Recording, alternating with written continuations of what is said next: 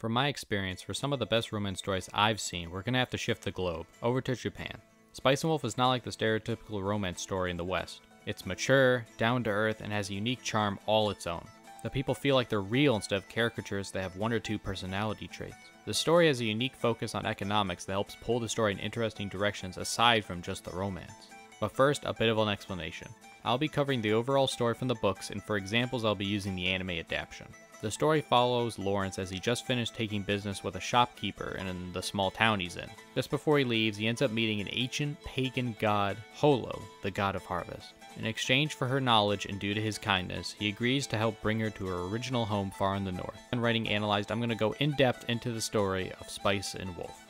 Before we get to what specifically makes the romance in this story work, let's talk about the other aspects. The relationship between Lawrence and Holo develops gradually throughout the 20 plus books as each of them learn more and more about the other. Normally, any series that goes on for this long wouldn't be good and would be seen as milking its franchise, but somehow this series doesn't do that. The reason is because this story doesn't really do big skips. It covers their entire journey from the far south of the continent to the far north. Every major event, every confrontation, all of it is presented to the reader. There are some time skips, but for the most part, these are done to skip over downtimes in the story, like such as deep into the winter where nothing happens or long travel sections. The other reason this prolonged story works is because the characters all have goals aside from presenting a story of two people falling in love. Lawrence is trying to make it as a merchant in the world, hopefully getting his own shop one day. Holo wants to go back to her home after being away from her people for hundreds, maybe even thousands of years.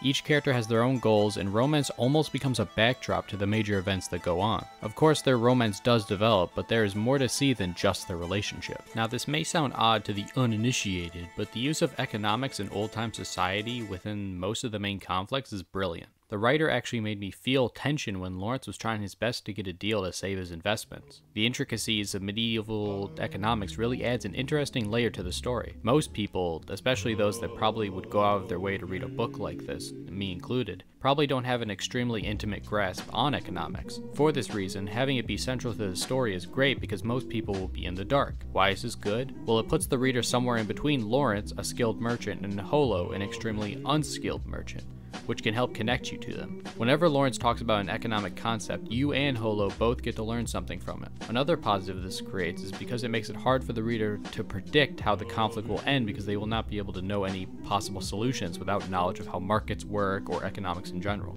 Now, what makes the romance work? Well, it all comes down ultimately to three major things the dialogue or banter between the two characters, the themes that overlay the relationship, and the fact that the series takes its time. Let's start with the first one the dialogue and banter. When it comes to romance, one of the most important things to consider is how you can make an interesting dynamic between the two characters. Will they have differing life experiences? Will their personalities clash with one another? Will their economic or social status affect how their relationship develops? How do their character quirks play out in each conversation?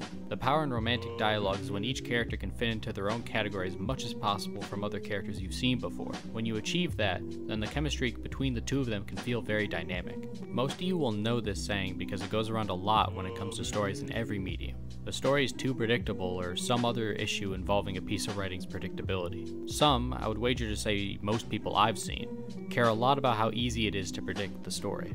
Can you tell who dies by the end? Is it obvious what the conflict will be and how it will be solved? Most see failure in a story that doesn't shroud its ending from the viewer ahead of time, and it reflects poorly on its quality. In a romance story, for the most part, you know how it will end when it comes to the romance. The two characters will end up being together, or they won't. But the ending isn't what a romance story should strive to shroud, at least not mainly.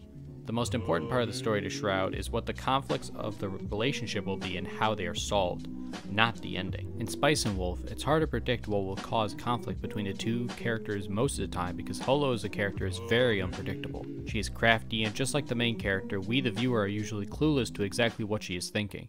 Now, why go on this predictability tangent? Well, one of the biggest positives to Spice and Wolf's dialogue is how unpredictable it is. From early on, you can understand how both Lawrence and Holo act, and yet each conversation between them is fresh. They never have to retread old ground, old jokes, or plot points that were resolved aren't recycled. Almost every piece of dialogue they are in makes me feel like I've seen a new side of them. So, recapping, the dialogue and banter works because of uh, how unpredictable it is and how dynamic both of the main characters are. I'll go more into each character later. Now, on to the themes that overlay the relationship. What I mean by this is the messaging or ideas that are tackled through the two main characters' relationship with each other. For example, one of the major ideas challenged between them is age.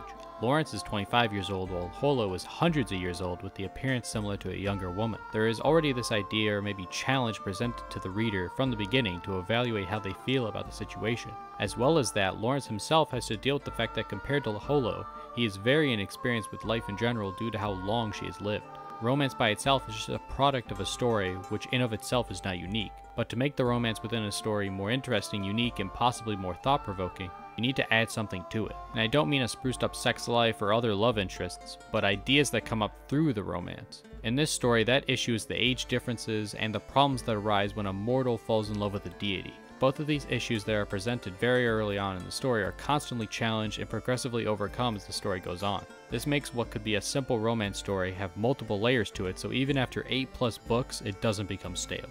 Now on to the elephant in the room. I touched on this earlier, but I want to expand this idea a bit more.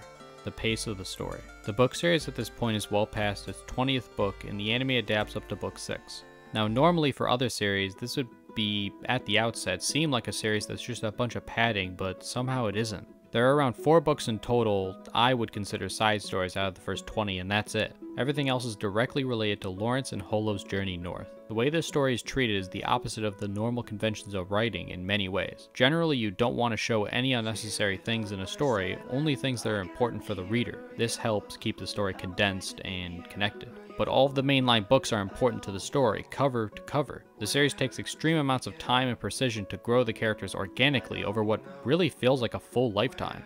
To get to the point, this story strives to have character growth and plot progression happen as slow as it needs to be. It allows every event that affects Lawrence and Holo's journey or their relationship to play out on the page. And this might be a divide for people reading these books, but I think it works. It allows the reader or viewer of the anime to fully engage in these characters' lives and to invest in them. From how long I've known these characters, they can sometimes feel more real than people on the street I've seen, and that's very off-putting, but in a good way. Now I've talked about what makes the romance work, but what about the rest of the story? Why does the rest of the story outside of the romance work? While everything else works in a series of arcs that usually happen within one to two books. Some characters or plot lines appear again later down the line, but for the most part the external conflicts or story arcs exist in isolation within their one to two books. Most of these conflicts can fit into one of three categories, economic conflicts, romantic conflicts, or a mixture of both. I won't bore you into the deep explanations of these types of conflicts, you get the picture. They work because they ultimately, aside from just being interesting, help push forward the main character's relationship and help build up the world around them. All of these things I described about Spice and Wolf really make it a mastercraft in the romance genre. The story and dialogue really put it ahead above the rest, and that's without even mentioning how unique its premise ends up being. It takes its own approach, goes at its own pace, and trusts the reader with its story. I could go on, and maybe I will in a future video, but for now I hope for those who have and haven't seen the anime or book, that you have a better understanding of what makes Spice and Wolf so good. If you want to see more, check out the playlist and subscribe to the channel. I hope you enjoyed, and see you next time.